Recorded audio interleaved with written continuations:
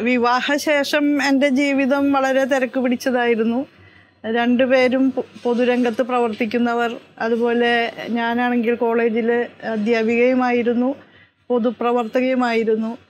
വീട്ടിലെ കാര്യങ്ങളുടെ ചുമതല ഉണ്ടായിരുന്നു. അപ്പം എല്ലാം കൂടി വളരെയധികം തിരക്ക് പിടിച്ചൊരു ജീവിതമായിരുന്നു. ഞാൻ വിദ്യാർത്ഥി പ്രസ്ഥാനത്തിൽ കൂടെ കടന്നു വന്നതാണ്. രാഷ്ട്രീയം എനിക്ക് ഇഷ്ടമാണ്. പൊതുപ്രവർത്തനം ഇഷ്ടമാണ് ജനങ്ങളിൽ നിന്ന് മാറി നിന്നിട്ടൊരു ജീവിതം സാധ്യമല്ല. നമ്മൾ തൃശ്ശൂർ പേരൂർ പാട്ടോണത്തിന്റെ ഇടയ്ക്കായിരുന്നു പെട്ടെന്ന് നമുക്കൊരു സർപ്രൈസ് ആയിട്ട് ഒരു അതിഥി വന്നിട്ടുണ്ട്.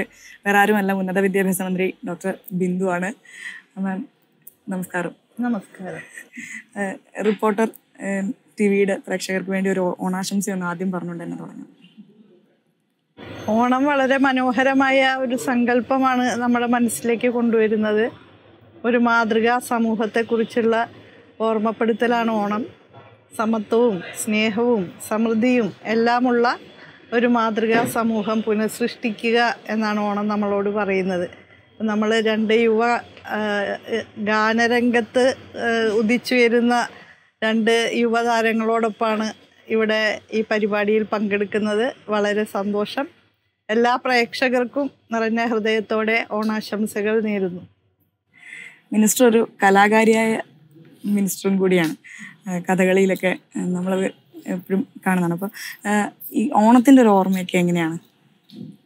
ഓണത്തിന്റെ ഓർമ്മ എന്ന് പറഞ്ഞാൽ എല്ലാ മലയാളികൾക്കും എന്ന പോലെ വളരെ ഗൃഹാതുരത്വം കലർന്ന ഓർമ്മകളാണ് എനിക്കും ഓണത്തെ സംബന്ധിച്ചുള്ളത്. ഞാനൊരു കൂട്ടുകുടുംബത്തിന്റെ സ്നേഹമസൃണമായ അന്തരീക്ഷത്തിലാണ് എന്റെ ബാല്യകാലം.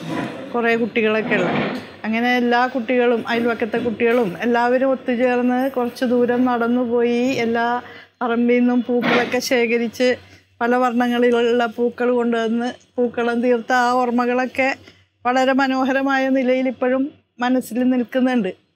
ഒരു കൂട്ടായ്മയുടെ ആഘോഷമായിട്ടാണ് ഓണം എന്റെ മനസ്സിലുള്ളത്. ഈ രാഷ്ട്രീയ ചൂടും മറ്റേ എല്ലാം മാറ്റി വെച്ചിട്ട് ഓണം ആഘോഷിക്കാൻ വന്നിരിക്കുകയാണോ? വിവാഹശേഷം എന്റെ ജീവിതം വളരെ തിരക്ക് പിടിച്ചതായിരുന്നു. രണ്ടുപേരും പൊതുരംഗത്ത് പ്രവർത്തിക്കുന്നവർ അതുപോലെ ഞാനാണെങ്കിൽ കോളേജിൽ അധ്യാപികയുമായിരുന്നു പൊതുപ്രവർത്തകയുമായിരുന്നു. വീട്ടിലെ കാര്യങ്ങളുടെ ചുമതല ഉണ്ടായിരുന്നു. അപ്പം എല്ലാം കൂടി വളരെയധികം തിരക്ക് പിടിച്ചൊരു ജീവിതമായിരുന്നു പിന്നെ കൂട്ടുകുടുംബത്തിൽ നിന്നാണ് കുടുംബത്തിലേക്ക് വഴി മാറുമ്പോൾ നമുക്ക് ഓണാഘോഷത്തിന്റെയൊക്കെ ആ ഒരു എക്സ്പീരിയൻസ് വ്യത്യസ്തമായി തീരാണ്. പിന്നെ നമ്മൾ ഓണത്തിന് ഭക്ഷണം ഒരുക്കലായിരിക്കും നമ്മുടെ പ്രധാന ചുമതല. അങ്ങനെയുള്ള പ്രശ്നങ്ങളുണ്ട്. പിന്നെ ഞങ്ങളുടെ ഉച്ച ഭക്ഷണം നമ്മുടെ മുസ്ലിം സുഹൃത്തുക്കളൊക്കെ വരാറുണ്ട്. മലപ്പുറത്താണ് എന്റെ ഭർത്താവിന്റെ വീട്. അവിടെ നിന്ന് അവരൊക്കെ വരാറുണ്ട്.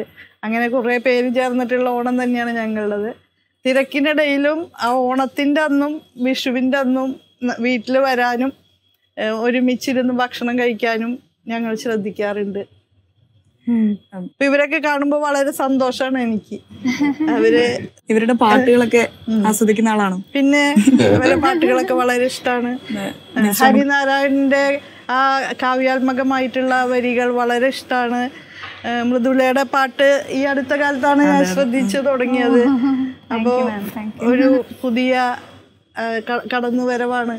അപ്പോൾ മലയാള സംഗീതം പ്രത്യേകിച്ച് ചലച്ചിത്ര ഗാന രംഗം ഇവരെ കൊണ്ട് ശോഭനമായി തീരട്ടെ അല്ലേ? അല്ല ഇപ്പൊ അടുത്ത ദിവസമാണ് ഞാൻ മിനിസ്റ്റർ ഈ കഥകളി ഒരു അതെ അതെ അതെ. ഒരു അരങ്ങിൽ പണ്ട് കളിച്ചിട്ടുണ്ടെങ്കിൽ ഈ തിരക്കിനിടയ്ക്ക് വന്നിട്ട്. മിനിസ്റ്റർ ഒരു കഥ മുഴുവൻ പെർഫോം ചെയ്യാന്ന് പറയുന്നത് ചില്ലറ കാര്യമല്ല. ഇത്രയും തിരക്കിനിടയിലൊക്കെ ഈ കഥകളി അവതരിപ്പിക്കുക. അതൊക്കെ അത്രയും പാഷൻ ഉള്ളിൽ അതിനോടുള്ളത് കൊണ്ട് കലാകാരിയാകണം എന്നായിരുന്നു മോഹം ഉണ്ടായിരുന്നത് അടിസ്ഥാനപരമായിട്ട് കലാകാരി തന്നെയാണ്. അതേസമയം തന്നെ ഞാൻ വിദ്യാർത്ഥി പ്രസ്ഥാനത്തിൽ കൂടെ കടന്നു വന്നതാണ്. രാഷ്ട്രീയം എനിക്ക് ഇഷ്ടമാണ്. പൊതുപ്രവർത്തനം ഇഷ്ടമാണ് ജനങ്ങളിൽ നിന്ന് മാറി നിന്നിട്ടൊരു ജീവിതം സാധ്യമല്ല. അപ്പോൾ കല്യാണമൊക്കെ കഴിഞ്ഞ് പൊതുപ്രവർത്തനവും ഏതാണ്ട് വളരെ സജീവമായിട്ട് മുന്നോട്ട് പോയപ്പോൾ പിന്നെ കലാരംഗത്തുനിന്ന് പതുക്കെ പതുക്കെ മാറേണ്ടി വന്നു. എന്നാലും അത് വലിയ അഭിനിവേശമായിട്ട് മനസ്സിലുണ്ട്. ഇവരെ ഇപ്പോൾ ഹരിനാരായണന്റെ കവിതയായാലും മൃദുലയുടെ പാട്ടായാലും അതൊക്കെ കേൾക്കുമ്പോൾ ആർദ്രമാവുന്ന ഒരു മനസ്സാണ് എനിക്ക്. അതിപ്പോഴും ഉണ്ട്.